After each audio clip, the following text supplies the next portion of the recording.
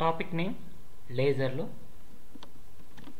లేజర్లు అధిక తీవ్రత కామ సంబద్ధత కామ ఏకవర్ణత కలిగిన శుద్ధ అరుణ కాంతి పుంజాన్ని ఉత్పత్తి చేసేది laser light amplification by stimulated emission of radiation is nothing but a laser నేడు జీవశాస్త్ర కామ వైద్య రసాయన భౌతిక శాస్త్ర కామ ఎలక్ట్రిక్ రంగంలో ఇది అత్యవసర పరికరంగా పిలువబడుతున్నది. లేజర్ ప్రక్రియలో ఐదు ముఖ్యమైన భాగాలు. వికిరణ శోషణం మొదటిది. రెండవది స్వచ్ఛంద ఉద్గారం. మూడవది ఉత్తేజిత ఉద్గారం. నాలుగు లేజింగ్ చర్య. ఐదు పంపింగ్ లేదా జనాభా తారుమారు. వికిరణ శోషణం. ఒక పరమాణువులో బాహ్య శక్తి స్థాయిలోని ఎలక్ట్రాన్ అత్యల్ప శక్తి స్థాయిలో ఉన్నప్పుడు పరమాణువు భూస్థాయి అనగా ఈవన్లో ఉందనుకోవచ్చు. అనగా ఈవన్లో ఉన్న పరమాణువు కొంత అంటే హెచ్మ్యూ అనే శక్తిని గ్రహించడాన్ని వికిరణ శోషణం అంటారు. రెండవది స్వచ్ఛంద ఉద్గారం. ఒక పరమాణువు ఉత్తేజిత స్థాయి నుండి భూస్థాయికి చేరే ప్రయత్నంలో తనంత తానుగా ఉద్గరిస్తే ఆ దృగ్విషయాన్ని స్వచ్ఛంద ఉద్గారం అంటారు. అనగా ఈవన్ శక్తి స్థాయిలో ఉన్న పరమాణు కొంత శక్తిని గ్రహించి e ఈ టూ స్థాయికి చేరి పటంలో చూపినట్టుగా e ఈ టూ స్థాయిలోకి చేరి మరలా e ఈ టూ స్థాయి నుండి కిందికి ఈవెన్ స్థాయి ఈవెన్ శక్తి స్థాయికి వచ్చేటప్పుడు హెచ్మిఓ అనే వికిరణాన్ని ఉద్గారం చేస్తాయి.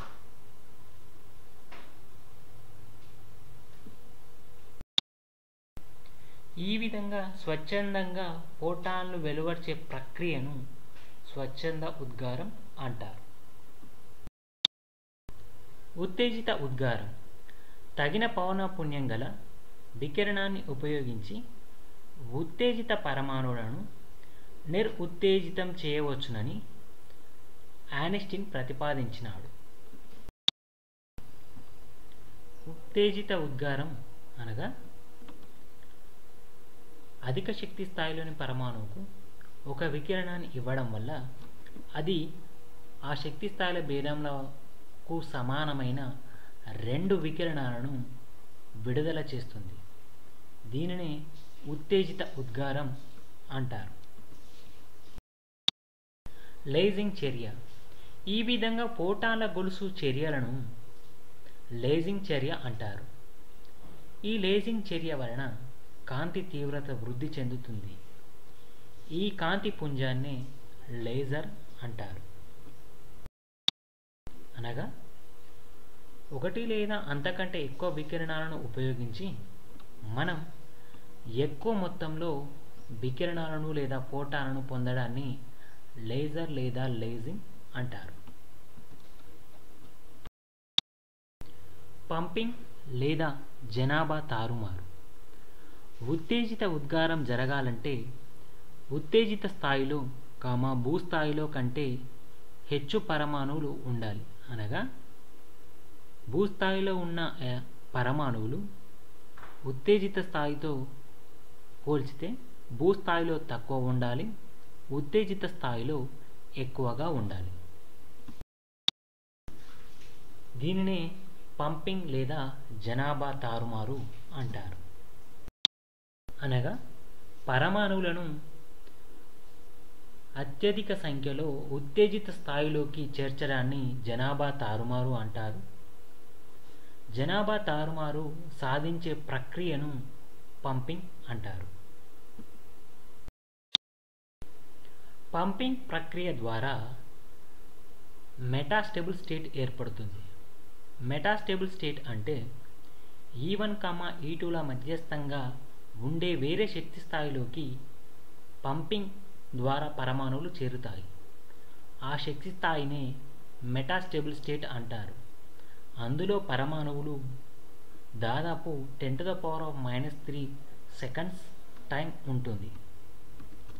అంటే మెటాస్టేబుల్లో పరమాణు జీవితకాలం అన్ని ఉత్తేజ స్థాయిల కంటే ఒక లక్ష రెట్లు ఎక్కువ.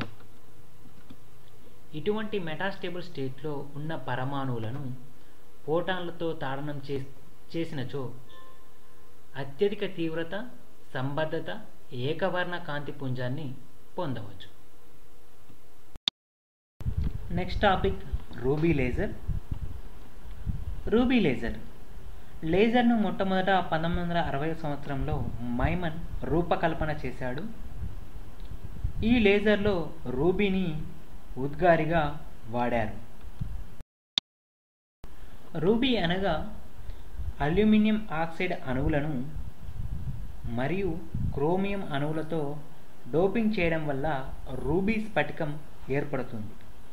వన్స్ అగైన్ అల్యూమినియం ఆక్సైడ్ అణువులను మరియు క్రోమియం ఆక్సైడ్ అణువులతో డోపింగ్ చేయడం వల్ల రూబీ స్ఫటికం ఏర్పడుతుంది.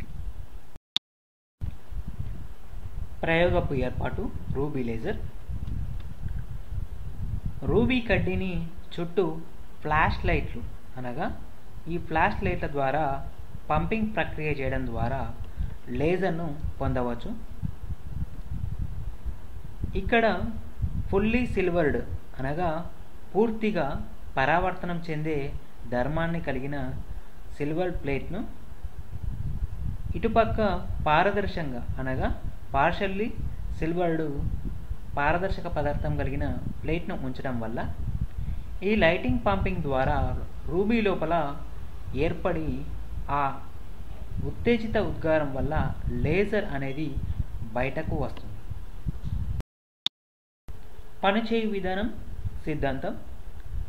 ఎక్సాన్ ఉత్సర్గనాళం నుండి ఐదు వేల ఐదు వందల ఏయు వికిరణాన్ని ఈవన్ భూస్థాయిలో ఉన్న పరమాణువులు శోషణం చేసుకొని అవి ఈటు ఉత్తేజ స్థాయికి చేరుతాయి. ఈ విధంగా ఈవన్ కామ ఈటుల మధ్య జనాభా తారుమారు జరిగి ఈటు స్థాయి నుండి ఫోటాన్లు స్వచ్ఛందంగా ఉద్గారం వల్ల తిరిగి భూస్థాయి ఈవన్కు చేరతాయి. అనగా ఈవన్ స్థాయిలో ఉన్న పరమాణువులు ఈ త్రీ స్థాయికి వెళ్ళి ఆప్టికల్ పంపింగ్ ద్వారా వెళ్ళి అక్కడ నుండి ఈ త్రీ నుండి మరల ఈ టూకు చేరుతాయి. ఆ ఈ టూ నుండి ఈ టూ అనేది మెటాస్టేబుల్ స్టేట్. అక్కడ నుండి ఈ వన్కి చేరడం వల్ల మనకు లేజర్ ఉత్పత్తి జరుగుతుంది.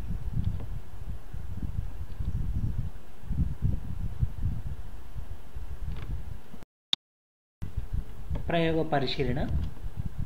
E ఈ వన్ శక్తి స్థాయిలోని పరమాణువులు ఆర్టికల్ పంపింగ్ ద్వారా e ఈ త్రీ స్థాయిని చేరి అనగా అత్యధిక స్థాయిని చేరి అక్కడి నుండి మెటాస్టేబుల్ స్టేజ్కి కిందకు దూకడం వల్ల ఫలితంగా N one greater than N two అవుతుంది. అనగా ఎన్ టూ శక్తి స్థాయిలో ఎక్కువ పరమాణువులు ఉండి ఎన్ వన్లో తక్కువ ఉండడం వల్ల లేజర్ ప్రక్రియ మొదలై మనకు యాంప్లిఫైడ్ అవుట్పుట్ అనేది బయటకు వస్తుంది. ఇక్కడ నుండి ఎలక్ట్రాన్లు అంటే భూస్థాయి నుండి అత్యధిక స్థాయికి చేరుకొని అక్కడ నుండి కిందికి రా రావడం వల్ల ఇక్కడ జనాభా తారుమారు జరిగి మనకు లేజర్ ప్రక్రియ వల్ల లేజర్ బయటకు వస్తుంది. భూస్థాయి ఇక్కడ e ఈ వన్ ఉత్తేజిత స్థాయి e E three metastable state అనగా తటస్థ స్థాయి e ఈ టూ అవుతుంది. పై ప్రక్రియ six nine four three AU చేరిన తరువాత లేజింగ్ చర్య నిలిచిపోతుంది. Helium neon laser. లేజర్ ఉత్పాదనకు వాయువులు ఆదర్శప్రాయం. ఉత్తేజిత స్థాయి నుండి ఫోటాన్ పతనాలు ఆలస్యం అవడం వల్ల దీనిని మనం ఉపయోగిస్తాం. ప్రయోగపు ఏర్పాటు. పరీక్ష నాళిక పొడవు. ఈ పరీక్ష నాళిక యొక్క పొడవు మరియు వ్యాసాలు వరుసగా. ఫైవ్ ఎంఎం వ్యాసము మరియు ఫిఫ్టీ సెంటీమీటర్స్ పొడవు zero point one mm by HG నాలిక వన్ ఎంఎం బై హెచ్జి వద్ద హీలియం మరియు నియాలను వన్ ఇస్ట్ ఫోర్ రేషియోలో నింపి వీటికి రెండు సమాంతర దర్పణాలను పారదర్శకత వంద మరియు తొంభై తొమ్మిది శాతం అనగా ఇది ఫుల్ ఫుల్లీ రిఫ్లెక్టెడ్ మిర్రర్. ఇది మామూలుగా పాక్షికంగా రిఫ్లెక్షన్ కలిగిన మిర్రర్ను ఉపయోగించి మనం లేజర్ను ఉత్పత్తి చేయవచ్చు. మొదట హీలియం నియాన్ను వాయువులను ఈ గాజుగొట్టంలో నింపి వీటికి ఎలక్ట్రోలోడ్స్ ఇవ్వడం వల్ల దానిలో ఉత్తేజిత ఉద్గారం జరిగి కాంతి కిరణాలు అనగా ఫోటాన్లు రిలీజ్ చేసి ఈ రిలీజ్ అయిన ఫోటాన్లు వంద శాతం రిఫ్లెక్టెడ్ మిర్రర్ ద్వారా మరియు ఈ తొంభై తొమ్మిది మధ్యలో రిఫ్లెక్ట్ అయ్యి ఎక్కువ తీవ్రత కలిగినప్పుడు మాత్రమే ఈ నైంటీ నైన్ రిఫ్లెక్టెడ్ మిర్రర్ అనగా తొంభై తొమ్మిది శాతం పరావర్తనం కలిగిన ఈ బూస్టర్ విండో ద్వారా బయటకి లేజర్ ఉద్గారితం అవుతుంది. అనగా నాలిక చివర దృశ్య సమతల కిటికీలు బూస్టర్ కోణం దర్పణల మధ్య దూరం లాంబ్డా బై హండ్రెడ్ రెండు ఎలక్ట్రోల వల్ల హీలియం మరియు నియాన్ అయనీకరణ జరుగుతుంది. అనగా గ్రౌండ్ స్టేట్లో ఉన్న హీలియం ఆటం అనేది ఎగ్జైటెడ్ స్టేట్లోకి అంటే వన్ ఎస్ నుండి టూ ఎస్లోకి వెళ్ళి అంటే ఎలక్ట్రాన్ ఇంపల్షన్ ఇంపాక్ట్ వల్ల అది గ్రౌండ్ స్టేట్ నుండి హయ్యర్ ఎనర్జీ స్టేట్కు వెళ్తుంది. మరియు ఈ వెళ్ళిన ఎనర్జీని నియాన్కు ఇవ్వడం వల్ల నియాన్ ఫైవ్ ఎస్ నుండి మరియు త్రీ ఎస్ నుండి టూ పీకి కిందికి పడిపోతుంది. అనగా హీలియం అయాన్ తన ఎనర్జీని నియాన్కి ఇవ్వడం వల్ల మనకు లేజర్ అనేది ఉద్గారితం అవుతుంది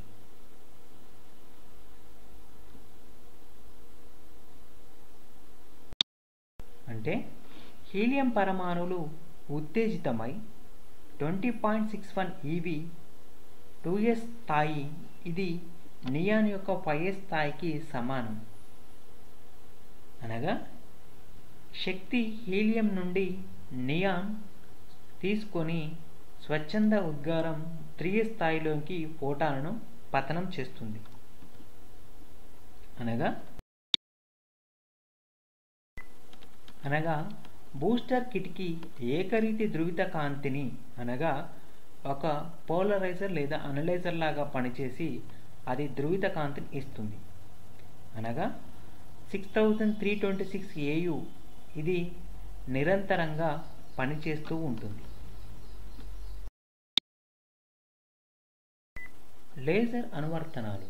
మొదటిది కంటిలోని రెటీనా చివరల గల పొరలను కలపడానికి క్యాన్సర్ నిర్మూలించడానికి లేజర్ కాంతిని వాడుతారు. రెండవది శక్తివంతమైన లేజర్ కిరణాలతో శత్రు విమానాలని కూల్చడానికి ఉపయోగించవచ్చు.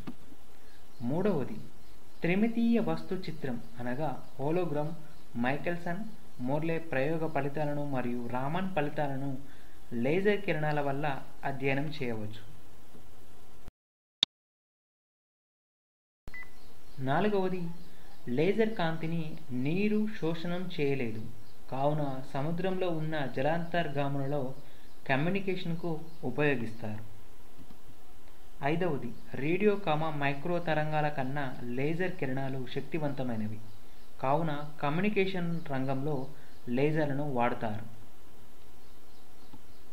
ఆరవది లేజర్ కాంతితో లోహపు పలకలకు చిన్న చిన్న రంధ్రాలు చేయుట మరియు వాటిని చిన్న చిన్న ముక్కలుగా కడిగేస్తారు సారాంశం స్వచ్ఛంద ఉద్గారం ఉత్తేజిత ఉద్గారం లేజింగ్ చర్య జనాభా తారుమారు మొదలైన విషయాల గురించి నేర్చుకున్నాం. మరియు రూబీ లేజర్ పనిచేయ విధానం గురించి తెలుసుకున్నాం. అలాగే వాయువులో ఉత్తేజిత స్థాయి నుండి పోటాన్ పతనాలు ఆలస్యం జరుగుతాయి. కావున హీలియం నియాన్ వాయు లేజర్ ఆదర్శప్రాయంగా ఉంటుంది. నాలుగవది హీలియం నియాన్ లేజర్లో హీలియం పరమాణువులు క్రియాశీలక పరమాణువులుగా పనిచేస్తాయి. ఐదవది లేజర్కు వైద్య ఆయుధ ఆయుధ కమ్యూనికేషన్ రంగాల్లో శక్తివంతమైన అనువర్తనాలు ఉన్నాయి. ప్రశ్నలు స్వచ్ఛంద ఉత్తేజిత ఉద్గారాల గురించి రాయట. రెండవది జనాభా తారుమారు లేజింగ్ చర్యల గురించి తెలుపుము. మూడవది రూబీ లేజర్ నిర్మాణము పనిచేయ విధానం తెలుపుట. నాలుగు హీలియం నియాన్ నియాన్ లేజర్తో ఏకవర్ణ సంబంధ కాంతి ఎలా పొందవచ్చును?